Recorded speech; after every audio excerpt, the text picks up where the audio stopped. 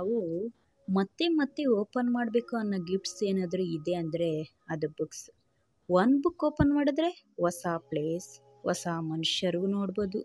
New experience ಹೊಸ ಹೊಸ ಆಲೋಚನೆಗಳು ಕಲಿಬೋದು. ಎಲ್ಲ ಮರೆತು ಬೇರೆ ಪ್ರಪಂಚಕ್ಕೆ ಹೋಗ್ಬೋದು.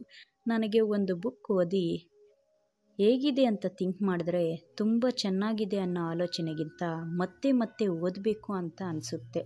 ಇನ್ನೂ ಒಂದು ಬುಕ್ ಓದಬೇಕು ಅಂತ ಅನಿಸುತ್ತೆ.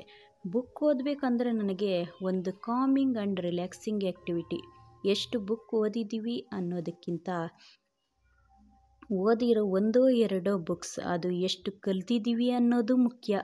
ಆದ್ದರಿಂದ ನಮ್ಮ ಲೈಫ್ ಎಷ್ಟು ಇಂಪ್ರೂವ್ ಮಾಡ್ಕೊಂಡಿದ್ದೀವಿ ಅನ್ನೋದು ಇಂಪಾರ್ಟೆಂಟು ಎಷ್ಟು ಒಳ್ಳೆಯ inspiration story and life changing lessons ಇರುತ್ತೆ.